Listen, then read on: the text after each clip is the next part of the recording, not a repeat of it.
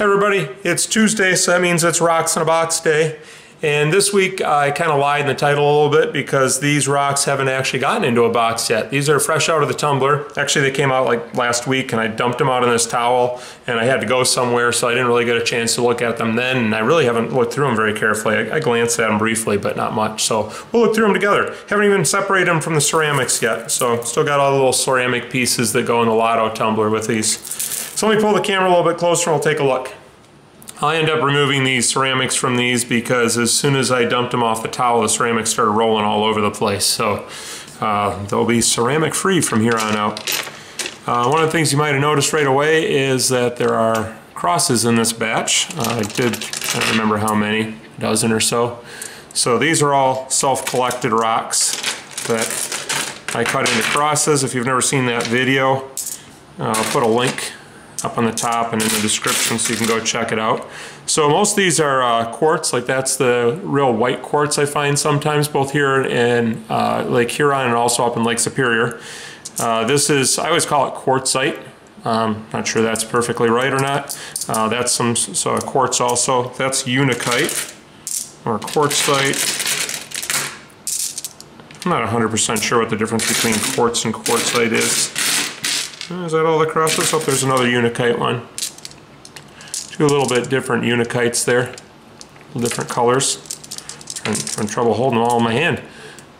Uh, so, anyhow, you might notice that there's not too much variety in the rocks. That's because I'll cut a slab, uh, several slabs out of a rock, and they just happen to be next to each other in the box. And sometimes I can get two or three crosses out of one slab. But anyhow, there's the crosses from the batch. And I have a turtle I cut out. If you've seen my little Toski stone turtles, or sometimes I put other kinds of rocks on top, but this is the bottom part, and then the shell is a separate part. Uh, those take a long time. Crosses are pretty quick to cut out and cut crosses pretty fast. Uh, but these take a long time getting the blade in all those little corners. The problem is you can't just cut around there. I'm using uh, basically a table saw is what the like a, a, table saw for wood, except this is for stone. Uh, and you got to put the end of the blade in there and kind of work it back and forth, and it's these are sort of a pain. Anyhow, got that. And then there's some guitar picks in here. Uh, that's Brazilian agate. That's Brazilian agate. I had four. Oh, there's another little cross. Not sure what that is. Uh, sometimes I make them out of Montana agate. That might be Montana, but I'm not at all sure of that. And I guess we'll have to be surprised with what the other one is later. It's in here somewhere. All right. Uh, this is, I believe, coral from either Florida or Georgia.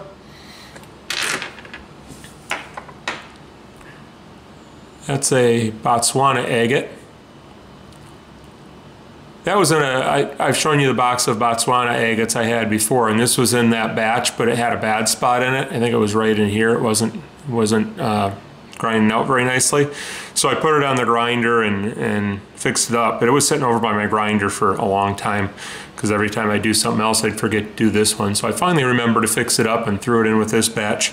So this rock will go in that box with all the other Botswana agates. So some of these get separated out and put in other boxes. So as you're seeing these boxes from past batches, uh, sometimes you're seeing a batch that was all tumbled together.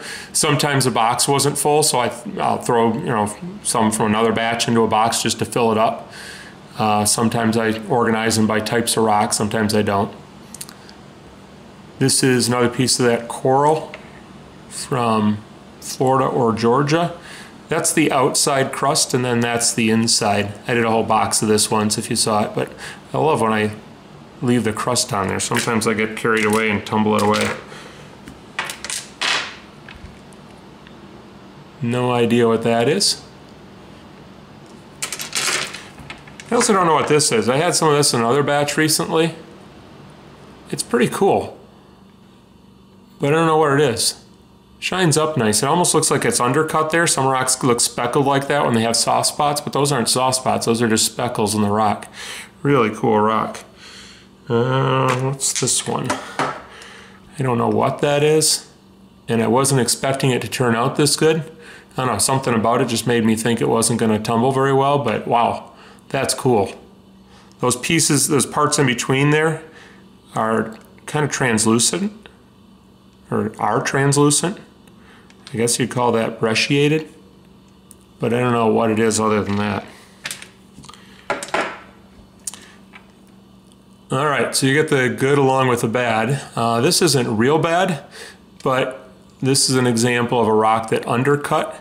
So right in here and over here, these kind of gray parts, brownish gray, uh, those were a softer mineral than the other stuff, and you can see they're worn in a little bit deeper, plus they don't polish up because softer rocks are harder to polish. This might be a thunder egg, part of a thunder egg, I'm not really sure. Not bad, still a cool rock, but um, that's undercutting right there.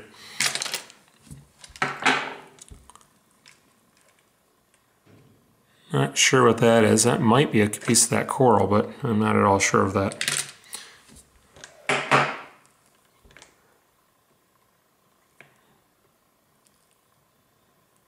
See through that one.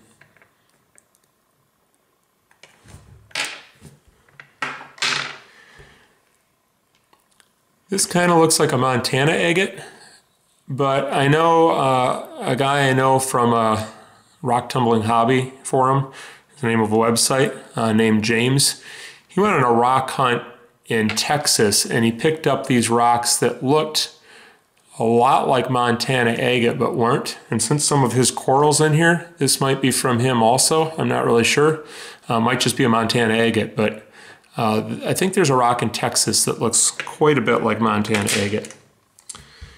Uh, this, I've been tumbling a lot of this lately. Um, I had some in a box I, I uh, somebody gave me from that rock tumbling hobby site, uh, Mark, and it's called Gary Green or Larsenite and it's from Oregon, I believe. And I have several pieces of it. Um, I'm aware of this because this stuff's been driving me crazy. It looks really cool here. I'm very happy with how these turned out. Uh, they've got a good shine on them. They look great, uh, great pattern. But they tend to have soft spots in them, so there'll be these veins of a, a softer mineral in there uh, that's kind of porous and it just like that other stuff it's going to undercut or actually leave holes behind. Uh, so it's a frustrating material but if you can find good the good parts of it it's really pretty. Looks like we got an agate of some sort here with some water level banding there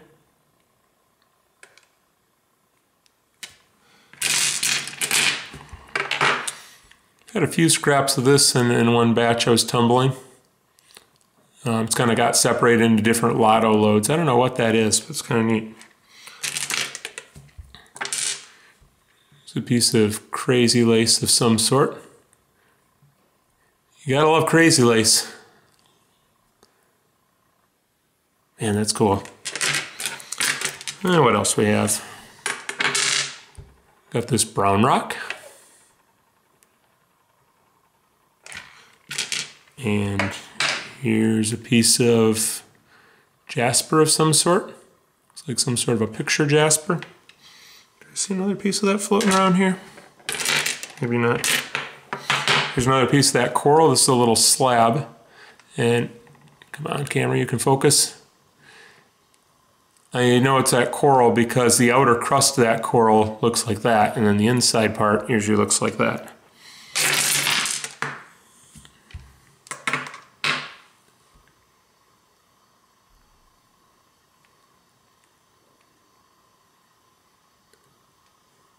Nice, but I don't know what it is. Here's another one that didn't turn out all that great.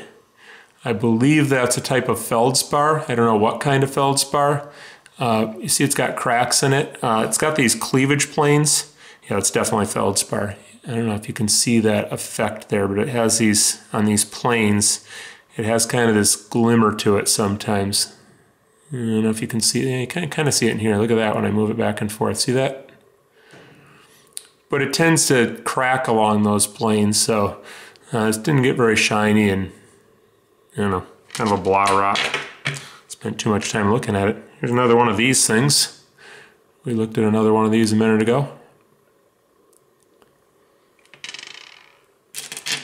Oh, here's a little piece of Turritella think that's how you pronounce it, agate. which isn't really an agate. I think that's, yeah, that's what that is. Any more of it in here? Looks like just that one little piece. Anyhow, some sort of a little fossil. Oh, here's the other guitar pick. I don't know what kind of rock that is.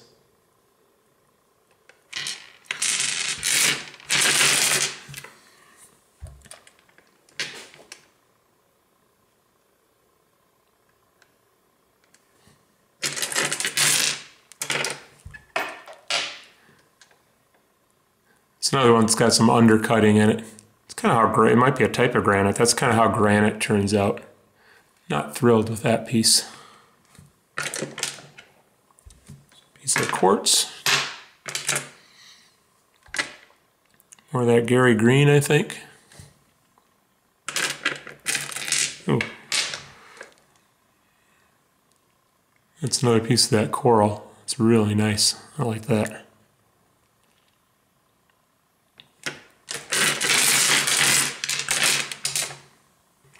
Did we look at this one? We might have looked at that one. I think we already saw this. Oh, it's nice. We'll look at it again. Okay. Almost looks like mica in this one. I don't think it is mica because mica wouldn't have lasted, but a little crystally looking things there. Glinting in the light.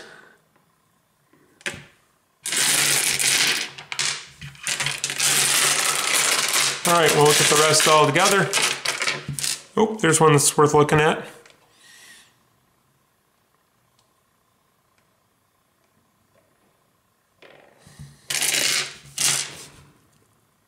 And there's the rest of them.